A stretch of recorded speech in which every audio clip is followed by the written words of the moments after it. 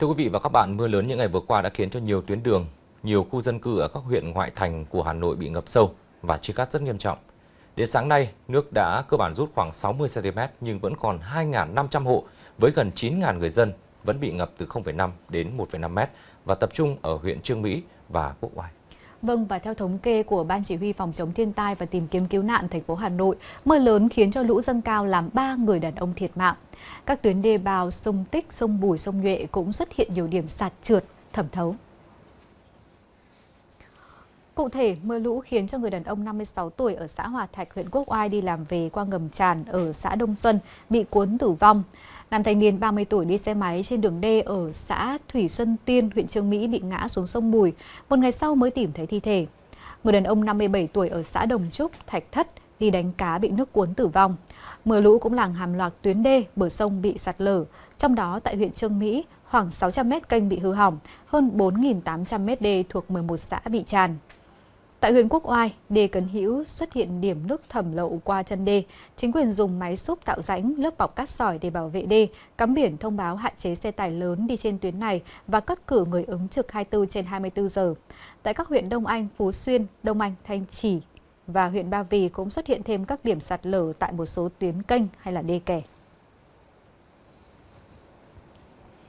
Theo Cục Quản lý Đê điều và Phòng chống thiên tai, Bộ Nông nghiệp và Phát triển Nông thôn, trong trường hợp những ngày tới thì mưa tiếp tục xảy ra trong khu vực sông Tích, sông Bùi và vùng núi phía Tây của tỉnh Hòa Bình như là dự báo thì sẽ làm cho mực nước sông Tích, sông Bùi cũng sẽ dâng cao. Do đó, thủ đô Hà Nội cần phải sẵn sàng cho kịch bản ứng phó với tình hình ngập lụt có thể còn tiếp tục kéo dài trong những ngày tới. Thưa quý vị, trong 3 ngày 28, 29 và 30 tháng 7, tỉnh Con Tum đã ghi nhận hàng chục trận động đất với cường độ mạnh lên đến là 5 độ Richter. Trên địa bàn vùng tâm trấn Con Plông cũng đã ghi nhận một số thiệt hại về nhà cửa cũng như là công trình. Vâng và đặc biệt là sau trận động đất thì có một hiện tượng lạ đó là giếng khoan của người dân ở trên địa bàn huyện Chư Prong, tỉnh Gia Lai bỗng nhiên phun rất là mạnh và tạo ra một cột nước cao tới hàng chục mét. Hiện tượng kỳ lạ này kéo dài nhiều ngày và chưa có dấu hiệu dừng lại. Liên quan đến vụ một cột nước kèm khí vun phun cao cả chục mét sau khi trận động đất mạnh tại Con Tum, ông Rơ Mang Hiêng, Chủ tịch Ủy ban dân xã Iakli, huyện ờ, Chư Prong, Gia Lai cho biết, cột nước xuất hiện tại miệng giếng khoan của gia đình ông Đàm Xuân Hòa ở xã Iakli, nơi xảy ra hiện tượng lạ là giếng khoan cũ của gia đình và không hề có nước. Trước đây, giếng này được ông Hòa khoan để tìm nước tưới cho dãy sầu riêng ở bên cạnh, nhưng mà khoan tới 170 mét không thấy nước nên đã dừng lại. Nhưng sau trận động đất 5 độ Richter tại Con Tum vào ngày 28 tháng 7, thì ông Hòa đã phát hiện miệng giếng có phun một tiếng hơi, nghe rất là kỳ lạ. Còn đến trưa ngày 30 tháng 7, ông lấy máy khoan tiếp tục khoan sâu thêm khoảng 15 mét nữa thì xuất hiện khí phun lên kèm theo dòng nước. Theo người này, ban đầu dòng khí phun lên có mùi như là mùi đất đèn, nhưng mà sau thời gian đến giờ dòng khí phun lên không còn mùi gì nữa. Và do giếng nước đang bị phun khí và nước rất mạnh nên gia đình đã để nguyên hiện trạng và không bịt được miệng giếng lại. Trước hiện tượng lạ, đoàn khảo sát Bộ Tài nguyên và Môi trường đã đến lấy mẫu nước từ giếng để phân tích tìm ra nguyên nhân. Đồng thời đoàn sẽ kiểm tra chất lượng nước và khí. Để đảm bảo an toàn, chính quyền xã đã căng dây cảnh báo nguy hiểm để người dân không đến gần. Sạt lở đất là một trong 21 loại hình thiên tai thường xuyên xảy ra ở Việt Nam trong mùa mưa bão. Hậu quả của sạt lở đất gây ra rất là nặng nề, nhất là thương vong về người. Từ đầu mùa mưa bão cho đến nay đã có rất nhiều vụ nghiêm trọng xảy ra tại Lâm Đồng, Hà Giang và gần đây nhất là Sơn La.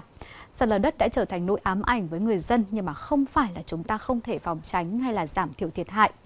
Dấu hiệu của sạt lở đất ra sao và cách phòng tránh như thế nào sẽ là những nội dung chính trong cuộc trao đổi ngày hôm nay tại trường quay với khách mời đó là tiến sĩ Nguyễn Đại Trung, trưởng phòng khoa học đào tạo và hợp tác quốc tế, Viện Khoa học Địa chất và khoáng sản, Bộ Tài nguyên và Môi trường.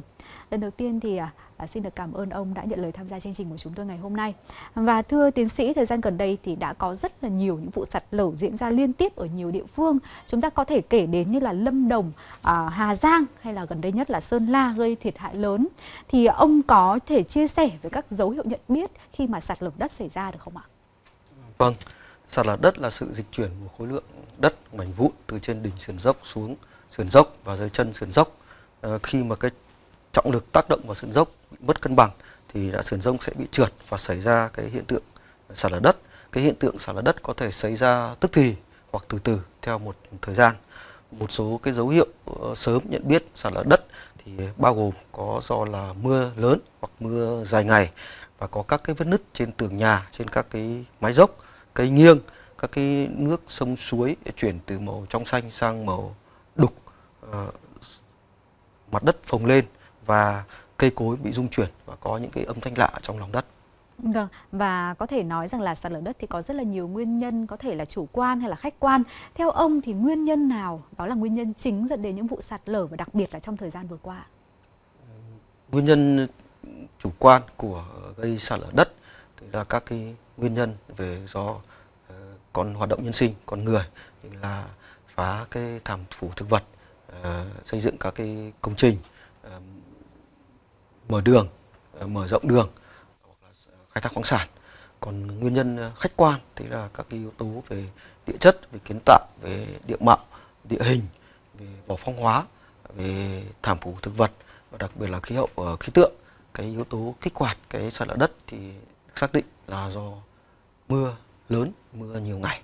Vâng, à, thời gian vừa qua thì chúng ta thấy rằng là ở tại à, đặc biệt là khu vực miền Bắc thì đã có rất là nhiều à, khu vực là có mưa lớn ở trong phía Nam thì cũng ở trong mùa mưa thì cũng rất là nhiều khu vực mưa và đặc biệt là có một lượng rất là lớn khiến cho đất đá ngấm no nước bở nhão và dây gây ra sạt lở. À, điều này thì hoàn toàn là không thể tránh khỏi rồi. Tuy nhiên thì sau khi sạt lở xảy ra, theo chuyên gia à, ông có thể chia sẻ là à, khi mà à, khi sạt lở xảy ra thì người dân có những cái lưu ý gì để đảm bảo an toàn? Bởi vì thực tế là đã có nhiều người thấy rằng là sạt lở trước mắt mình nhưng mà vẫn chủ quan và vẫn đi qua khu vực sạt lở. Vâng ờ, người dân thì phải có những lưu ý để đảm bảo an toàn. Thứ nhất là tránh xa ngay các khu vực sạt lở đất vì có thể sẽ tiếp diễn cái sạt lở đất ờ, tiếp theo. Thứ hai là đặc biệt là ờ, cảnh giác, quan sát, nghe ngóng khi đang đi bộ, đi lái xe. À, các dấu hiệu ở các cái sườn vách ta luy âm và dương dọc đường các khu vực và các cái điểm mà đã có cảnh báo ờ, nguy cơ sạt lở đất và phải theo dõi các cái ờ, thông tin thường xuyên trên mới nhất về sạt lở đất trên các cái phương tiện ờ, truyền thông như đài báo internet mạng xã hội và các nơi có nguy cơ về các nơi nguy cơ sạt lở đất và phải đề phòng nguy cơ sạt lở đất sau đó uh, như là lũ bùn đá và lũ quét khi mà các cái dòng chảy bị sạt lở đất làm tích nghẽn thì nó xây ra một cái động, nó tích nước cái cái động dòng chảy rất lớn, phá vỡ mất cái cân bằng của dòng bờ và sẽ gây ra cái hiện tượng dòng lũ bùn đá và lũ quét. Vâng, và chúng ta đang bước vào tháng 8 và bình thường thì người dân Việt Nam hay thường nói rằng là tháng 7, tháng 8 và có thể là đến tháng 9 thì là cao điểm của những tháng mùa mưa lũ. Vậy thì ờ, theo tiến sĩ là trong thời gian tới cái tình trạng sạt lở còn tiếp diễn và diễn biến ra sao và chúng ta sẽ cần phải à, có những cái phòng tránh như thế nào và đâu là khu vực dễ xảy ra sạt lở để mà bà con có thể phòng tránh ạ? Ờ, vâng, ờ, tình trạng sạt lở đất sẽ còn tiếp diễn trong thời gian tới do mưa lớn à, và dài ngày gây ra bởi các cái cơn bão nhiệt đới ở khu vực Tây Thái Bình Dương. Đặc biệt là khi hiện tượng khí hậu à, chuyển từ cái hiện tượng khí hậu à, El Nino sang cái hiện tượng khí hậu La Nina. Đó là cái hiện tượng khí hậu sẽ gây các cái bão nhiệt đới mà ảnh hưởng trực tiếp đến cái khu vực Việt Nam. Các cái khu vực dễ xảy ra sạt lở đất của Việt Nam thì bao gồm là nơi có các cái địa hình dốc, các cái phân cắt ngang, phân cắt sâu, các cái địa hình ờ, tuyến tính, dạng đường do các cái đứt gậy kiến tạo tạo ra các cái vách chữ V, tạo ra các cái hẻm vực thung lũng suối, thung lũng sông, những cái nơi mà có phong hóa và phong hóa dày. Ờ, cái mạng lưới nước ừ, của khe suối, khe của sông phát triển mạnh và thảm phủ ít. Và các nơi, đặc biệt là các nơi đã bị biến đổi địa hình do cái hoạt động nhân sinh con người như là phá rừng ờ, thay đổi, thảm phù tự nhiên, xây dựng các cái công trình như là Ờ, công trình như là mở rộng đường đường mới mở ờ, và khai thác khoáng sản ờ, vân vân Vâng, có rất là nhiều những khu vực mà à, như tiến sĩ chia sẻ thì cũng có cái khả năng là sẽ bị sạt lở đặc biệt là à, trong thời gian tới khi mà mưa bão nếu như mà lượng mưa mà cứ lớn và tiếp diễn như vậy thì à, rất là có nguy cơ khi mà khu vực đó đã sạt lở rồi thì lại còn có nguy cơ là sẽ còn tiếp diễn xảy ra đúng không ạ? Và với bà con đặc biệt là ở những bà con ở khu vực vùng núi, vì cái điều kiện sinh hoạt cho nên là rất khó để chúng ta có thể chuyển nhà hay là có thể chuyển gia đình đi một nơi khác sống. Vậy thì với những người dân mà sống ở những khu vực có nguy cơ cao, xảy ra sạt lở thì cần phải làm gì để có thể phòng tránh ạ? Ờ, những người dân mà đang sinh sống ở những cái nguy cơ mà cao gây sạt lở thì thứ nhất là phải luôn luôn theo dõi cái hiện tượng, khí hậu, thời tiết, có bão ờ, và ờ, cái dạng, cái lượng mưa và mưa dài ngày Ờ, thứ hai là ờ, phải sẵn sàng ờ, chuẩn bị, đóng góp các cái phương tiện từ sức người, sức sức của để theo sự phân công của chính quyền để phòng chống sạt lở đất khi có yêu cầu. Thứ ba là luôn dự trữ lương thực thực phẩm, các cái lương thực như thuốc men các nhu yếu khác khi sống ở trong vùng sạt lở đất và chủ động sơ tán tại, đến các vị trí an toàn nằm trong cái sự hướng dẫn của các cái chính quyền địa phương. Vâng, và đó là ở khu vực Việt Nam của chúng ta. Tuy nhiên thì nếu mà để nhìn ra rộng hơn ở trên thế giới thì cái việc cảnh báo hay là dự báo sạt lở hiện tại theo như mà tiến sĩ nhận thấy và trong cái quá trình làm việc của mình thì nó có cái điều gì gặp khó khăn và các quốc gia trên thế giới thì dự báo như thế nào và về cái loại hình này và chúng ta có thể học hỏi được điều gì từ các nơi ờ, trên thế giới ạ? Các cái nghiên cứu về cái hệ thống giám sát cảnh báo ờ, của sạt lở đất trên thế giới thì có thể bắt đầu từ những năm 1999 và tiếp sau đó thì là đến năm đến giai đoạn năm 2006 thì bắt đầu có các nghiên cứu trên thế giới về các cái mô hình dự báo và đánh giá các cái mô hình dự báo về sạt lở đất. Và sau đó thì từ năm 2009 đến nay thì bắt đầu có các cái xây dựng nghiên cứu xây dựng các cái mô hình về giám sát cảnh báo sớm sạt lở đất theo thời gian thực. Về cơ bản các cái hệ thống uh, nghiên cứu giám sát cảnh báo ờ, sạt lở đất trên thế giới thì chia theo phân ra làm hai nhóm. Nhóm thứ nhất là nghiên cứu về cái cơ chế và các cái nguyên nhân gây ra sạt lở đất. Thì các nguyên nhân, cơ chế nguyên nhân sạt lở đất thì họ sẽ sử dụng nhiều cái hệ thống thiết bị. Cái hệ thống như thế có thể 15 đến 20 đến có thể 25 các cái thiết bị. Cái hướng thứ hai là họ nghiên cứu các cái hệ thống cảnh báo sớm cái sạt lở đất. Thì cái cái trang thiết bị của cái hệ thống này thì ít hơn. Thường thường chỉ 5 đến 10 cái trang thiết bị thì cả hai cái hướng hệ thống này hiện nay ở trên thế giới đã phát triển trong vòng 25 năm qua thì đã phát triển ờ, khá mạnh.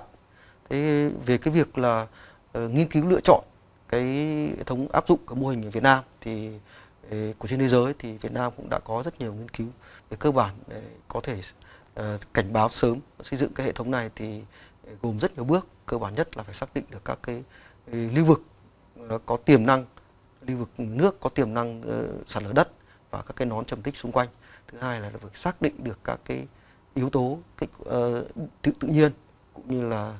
uh, lượng lượng lượng mưa kích hoạt trong cái lưu vực mà có tiềm năng về sạt lở đất. Thứ ba là phải uh, khảo sát thực địa để để nghiên, nghiên cứu các cái nguyên nhân tự nhiên uh, cũng như là khách quan để gây ra lở trong vùng. Và cuối cùng là uh, đánh giá được cái khả năng dự báo được khả năng uh, sạt lở đất trong những cái lưu vực mà có tiềm năng gây ra sạt lở đất và chọn lựa các cái điểm các cái vị trí để có thể là uh, xây dựng cái hệ thống cảnh báo giám sát uh, sạt lở đất theo vâng. thời gian thực. Vậy thì cụ thể là Viện Khoa học Địa chất và Khoáng sản thì chúng ta cũng đã có những cái nghiên cứu hay là đề án nào trong việc phòng ngừa sạt lở ạ? Viện Khoa học Địa chất và Khoáng sản với Viện Nghiên cứu thì đã có rất nhiều công trình nghiên cứu về khoa học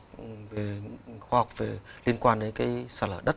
Ờ, về nghiên cứu thì Viện Khoa học Địa chất nông sản đã uh, phối hợp với các đơn vị trong và ngoài viện uh, thuộc trực thuộc Bộ Tài nguyên Môi trường để nghiên cứu về các cái xây dựng các cái mô hình cảnh báo trượt lở đất ở khu vực Tương Dương Nghệ An, xây dựng cái trạm cảnh báo nghiên cứu về sạt lở ở khu vực Trường Khoang, Dụ Thị Sapa, nghiên cứu các cái hệ thống uh, các cái chỉ tiêu, tiêu chí và các cái lượng ngưỡng mưa kích hoạt các sở đất uh, trên uh, Việt Nam, thời là xây dựng các cái hệ thống mô hình cảnh báo sớm về trượt lở đất và xây dựng các cái hệ thống um, cấu trúc dữ liệu uh, hệ thống cấu trúc dữ liệu lớn để dùng chung cho cứu sạt lở đất về và các cái phòng ngừa cũng như là giúp cho bà con có thể là có được cái dự báo chính xác để uh, giúp cho bà con có thể có các cái công tác và các địa phương cũng sẽ có chủ động được các công tác để đảm bảo an toàn cho người dân sống ở những khu vực có nguy cơ sạt lở đúng không ạ? À. Và một lần nữa thì cũng xin được cảm ơn tiến sĩ đã nhận lời tham gia chương trình của chúng tôi ngày hôm nay.